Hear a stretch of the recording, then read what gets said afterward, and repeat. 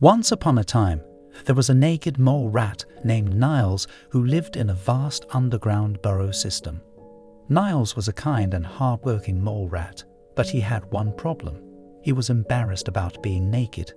Unlike his fellow naked mole rats who were content to go about their daily activities without any clothing, Niles felt embarrassed and exposed. He would try to hide in the shadows or behind other objects whenever he was in public, fearing that others would stare at him or make fun of him. Feeling discouraged, Niles sat down on a rock and began to weep. It seemed like there was no solution to his problem, and he would be forced to spend the rest of his life feeling embarrassed and ashamed. But then, he noticed a group of naked mole rats playing together, completely unbothered by their nakedness. They were having fun and enjoying each other's company, regardless of what they looked like.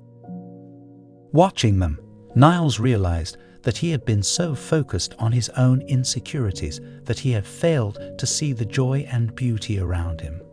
He got up from the rock and joined in the game, feeling a bit awkward at first, but soon forgetting all about his embarrassment.